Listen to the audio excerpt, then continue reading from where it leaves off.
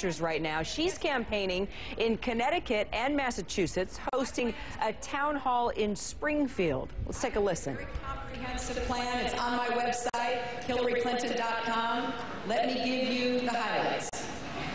First of all, we've got to invest more in energy efficiency. We can cut a lot of our greenhouse gas emissions if our buildings are more energy efficient.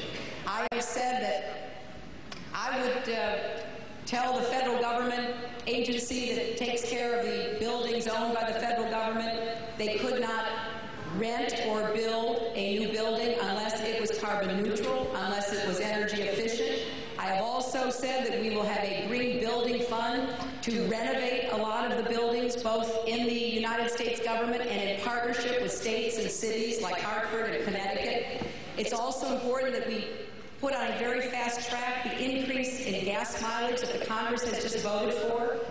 Doesn't go as far as I would like, but it is the first change we've gotten, and we've got to push it hard and help the auto companies figure out how they're going to accelerate their implementation. You know, I saw a car the other day, one of these plug-in electric hybrids with one of these long-lasting batteries. They were test driving it for a couple of months in Washington. They went 1,500 miles on 10 gallons of gas.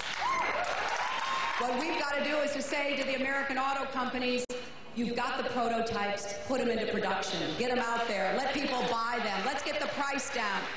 We also have got to do much more on making our renewable portfolio standards, which you know about, real, so that we have a lot more of our electricity coming from renewable sources like solar and wind and geothermal. Other countries are beating us. Germany's made a big bet on solar power.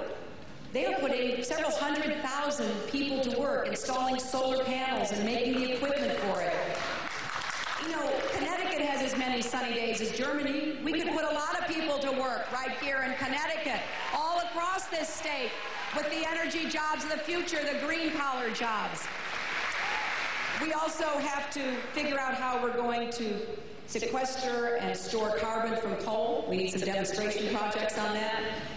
And as I say, there's a lot of detail in my plan, but the final thing is I want, as president, to convene the major greenhouse gas emitting nations.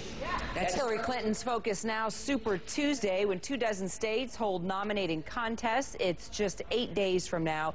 We're going to hear more from Senator Clinton in just a bit, and we're going to check in with CNN's Jim Acosta on the trail there with Senator Clinton.